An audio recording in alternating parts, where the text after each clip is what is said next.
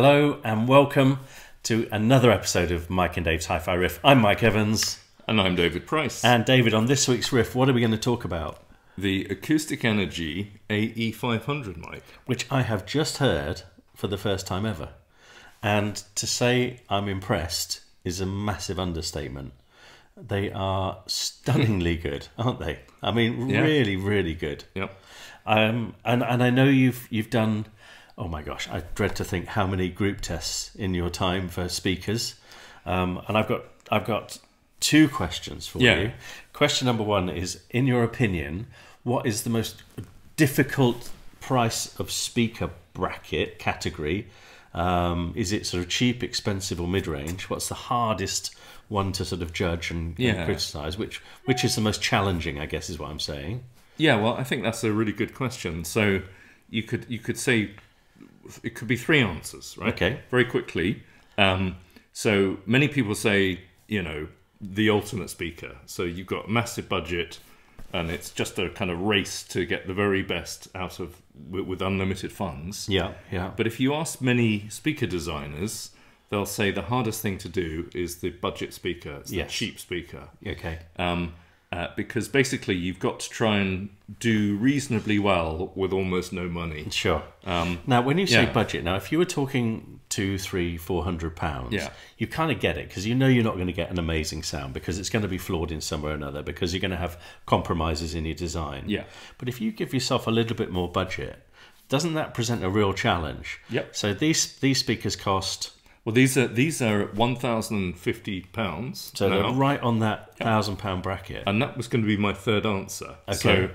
so it's kind of budget plus category. Okay. You know, Okay. so if you're yeah. if you're kind of in budget, if you're sort of right at the bottom end of the market, it's just like if you can even get a sound out of them, you know, that you're doing well. sure, sure. But at this price, then you can, if you know what you're doing, make them sound very good. but it's difficult. It's very difficult, and most people don't know how to do it. And I think, and I was going to get my sort of my second part of my question was in all the group tests you've done, I bet this is a really difficult category to judge. Yeah. Because of those flaws, because you know you haven't quite enough, quite got enough money as a designer to make the product you want. You're going to have your compromises, but it's still a price tag. It's still a grand, isn't it? Any way you Yes. look at it.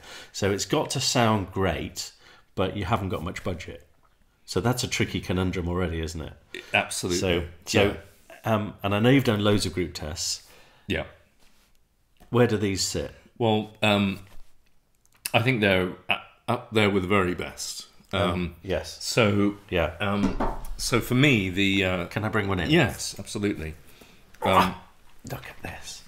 let's have a- Look at these. These are these are absolutely, I think, on right on the button, right on the button between price and quality. Yeah. And in fact, they're beautifully made. You- You've got to, you know, AE are doing some great stuff at the moment. We've done a few AE reviews, haven't we? Yeah. So we've done the Coriniums. We did the uh, the A1 Actives, which I loved, Yep. as you know. Um, yes, you never stopped talking about them for No, about two years. Absolutely, which I really loved.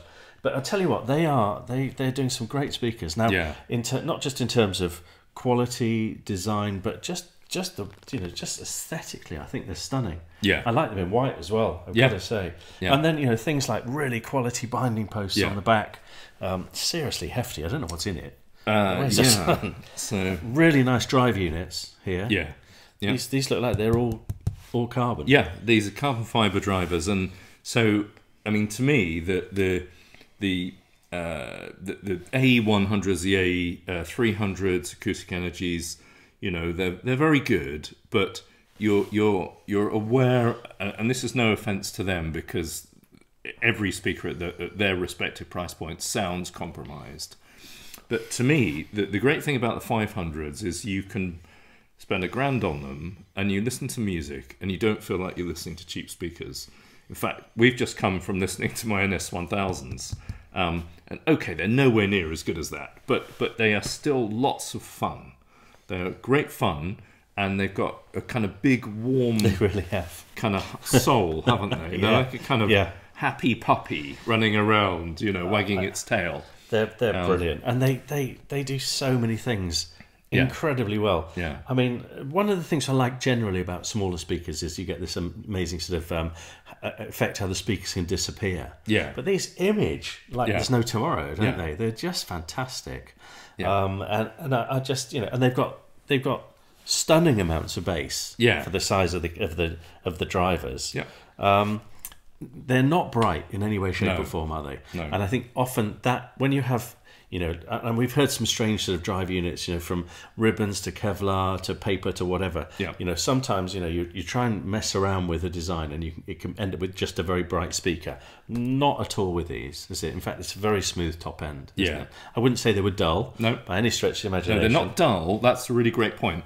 They're not dull, but they they are far less bright than many speakers uh, of their price. Yeah, yeah, and in fact, um, we were listening to uh, we were listening to Marillion. Yep. Um, we were listening to Kayleigh, which actually is quite a bright recording. Yeah. It's sort of, it's like you said, it's like an FM radio recording, Yeah. it? Mixed for FM. Um, and, and in fact, it wasn't too bad on these at all, was it? it? Was it was actually really quite listenable for a- for a Yeah. difficult uh, for you know a diffi- difficultly produced, Yeah. challenging Kind of produced calmed album. it down slightly. Very much it? so. Yeah, very um, much so. Took the sting out. Um, and we listened to this. So component wise, we Yeah. listened to your amazing CD player, which is a Sony ES, which you're using as a transport. Yeah. which is the- CDP 3000 ES, I think. which is the coolest looking CD player ever, isn't it? I mean, it's got just like the most amazing loading mechanism, hasn't it? Because Yeah. the whole thing shifts It's a around. top loader. Yeah. Uh, but it's not. It's more than that. Yeah, isn't it? well, 'Cause it's got it's their kind of movable. I Yeah. forgot what Sony called it now, but they're kind of funny. Uh, Ace, I Yeah. think they call it. Just, just Ace. Uh, so that's gorgeous. And then we listened to that through. I mean, we had quite a setup to be fair with these. So we Yeah. had your Hugo TT2, which Yep. is go to, and then we had the the um, the M8 musical fidelity uh, amplifier, which Yes. we've reviewed as well. Yes. uh, which is a beast of an amp. Yep. Um, but I mean, obviously, no problem at all in driving these. No. at all. No. Um, although actually, they are a little bit of a challenging load. Yeah, I mean they're, they're they're you know a little bit harder than some. They're, they've a nominal impedance of six ohms, eighty seven quoted, eighty seven dB quoted, which is not bad, Okay. but you know they're they're Okay. they're certainly not on the kind of easy side that will go super loud for no watts. And the conversation we had was, Um, yeah. would the A1 musical fidelity A1 drive these? Yeah. And I think you said just. Just about, yeah, Yeah. for most rooms, I think. Yeah. Um, and we're talking about the new one, the, old one, one. with no chance. No, no.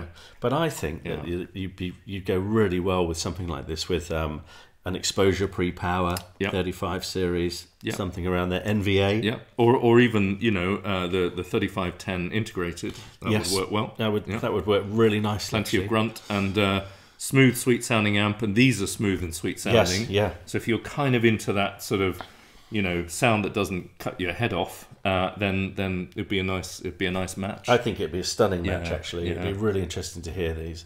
But um, but I, A are just doing a great range of speakers at the moment, and these Yeah. these these I've never heard these before, and they are magnificently good. Yeah, well, I think to me the this um, so the, the the carbon fiber drive units are, are really good. They're um, Acoustic own.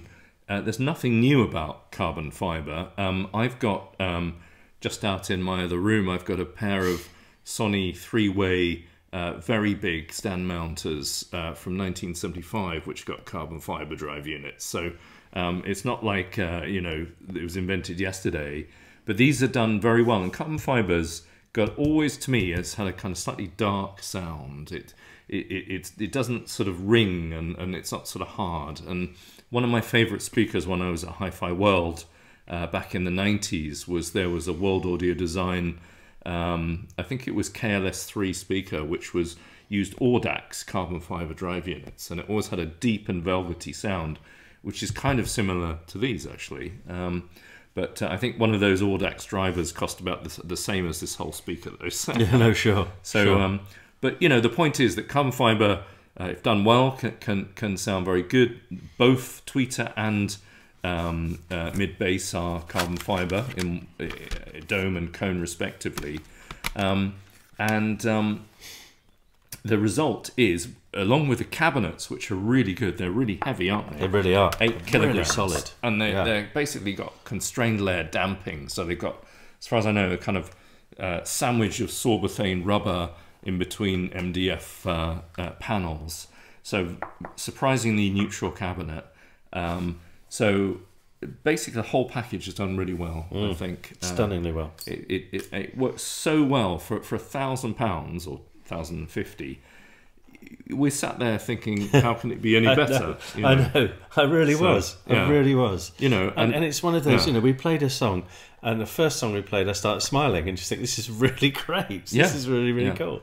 Um, and speaking of which, we played we played some, some interesting music, some eclectic music. We Yeah. played um, uh, Easy Pieces Yeah. by Lloyd Cole and the Commotions. Yeah. Their difficult second album, Yep. uh, actually, uh, which is a um, good one though, wasn't yeah, it? really good. Look at that Polydor label, lovely. Yeah, um, yeah excellent. And, and I, I So- really like that album. Yeah. I, I always have. Um, I don't think it's as good as their first, but Agreed. it's a terrific. You Yeah. know, it's it's, it's just, you know it's a terrific uh, attempt at a follow up. Yeah, it's a nice album. Really So nice. I I think we were students when that came out. We were. and I was in Bristol. I remember walking around Clifton in, in the summertime of probably 85, 86, and through every window, practically Easy Pieces Yes, was blaring yeah. out. you Every know. every uh, coffee house and Exactly. and cafe Student, you know, uh, uh, student yes. cafe culture song, wasn't it? So Absolutely. and, yeah. and the similar era, um, which is Yeah. actually one of my favourite albums, Scritti Politti. Cupid and Psyche, ninety five. Uh, 85. 85, I, beg your pardon, my bad.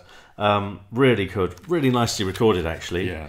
uh, with a bit of Green Gartside. Yep. There we are. Absolutely. Look at that. Fabulous, fabulous, Yeah. fabulous. Yeah, really love that. Um, great album. Haven't heard that in a while actually.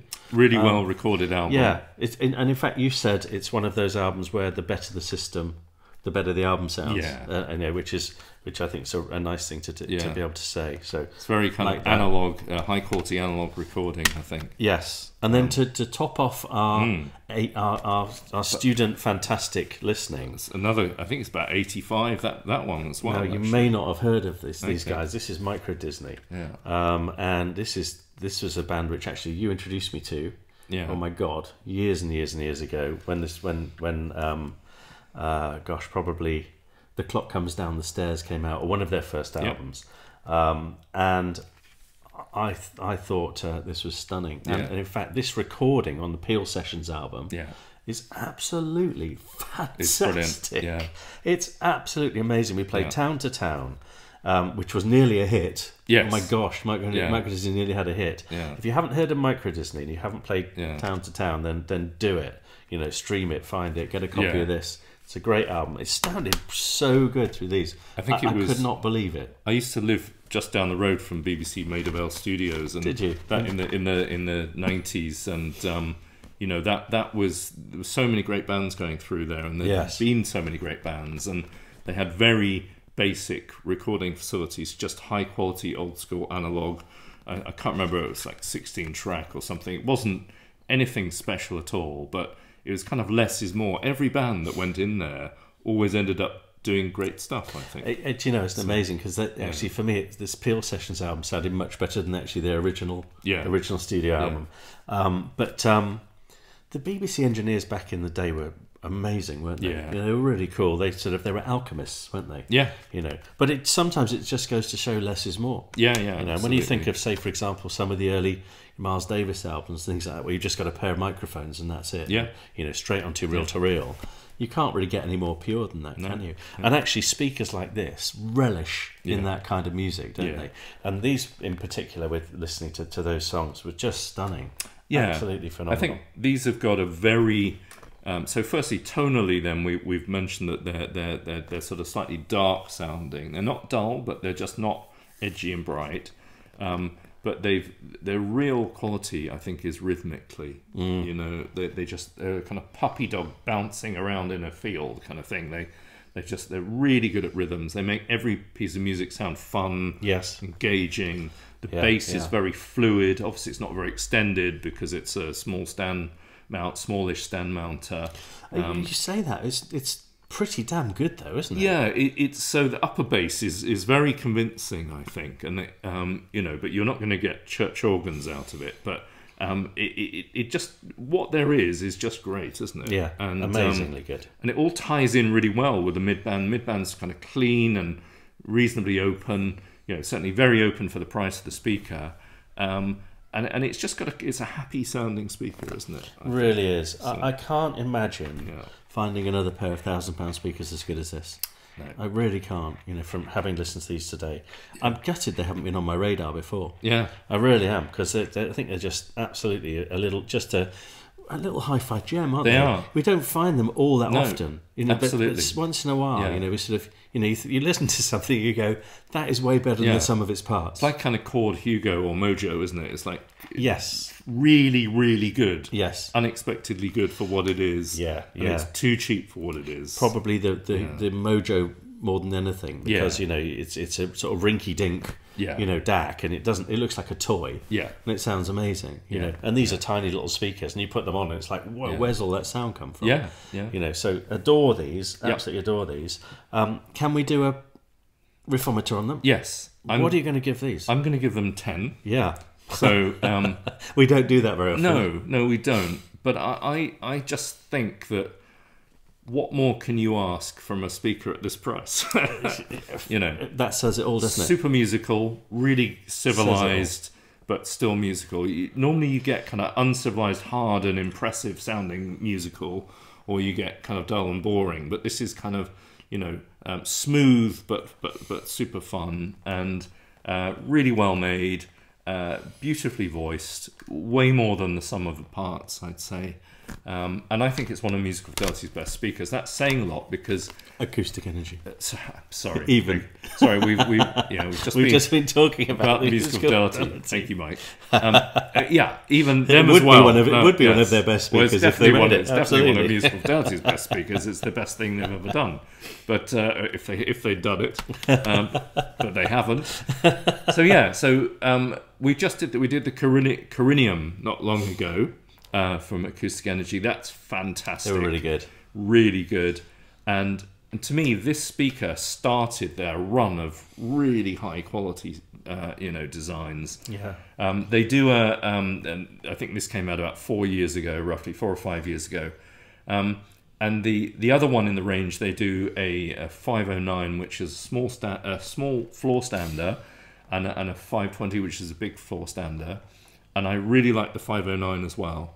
The 520 is great, but to me, it just doesn't have the sort of magic of the the 509 and these are both somehow just absolutely sort No, of sure. 10 out of 10 uh, uh, rather than 9 out of 10. Sure. No, So, sure, sure. Yeah, so there we go. How about you? Well, you played. We played "Perfect Blue" from and the Commotions. That was the first song we heard on them, and it was a ten within five seconds. it was just. There's no two ways about it. It was absolutely straight off the bat. wow. Cool. So you Love those. so uh, when you when you got when you heard the um, uh, the AE1 actives, Yes. you didn't stop talking about them for two years. No. So is this going to happen again now, Mike? Um, it's it's. I, I'm just so impressed with what Yeah. AE are doing. They're really good. you know aren't they're doing some great speakers. So, So- the, the Corinium was, Yeah. you know, was as you say, was awesome as well. So, you know, hats off to them. But yeah, you're probably not going to have me shut up about these for a while. so there we go. Um, and on that on that note, On that bombshell, on that apology, that we're going to be uh, talking about these for a while. yeah. Thank you so much for watching this episode of Mike and Dave's Hi-Fi Riff. We'll see you at the next one. Bye-bye. Bye. Bye.